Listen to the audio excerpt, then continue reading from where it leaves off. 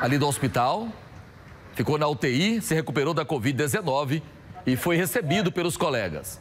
Em homenagem ao Sargento Santos, em nome de todo o efetivo do 13º Batalhão, serviço sentido, apresentar...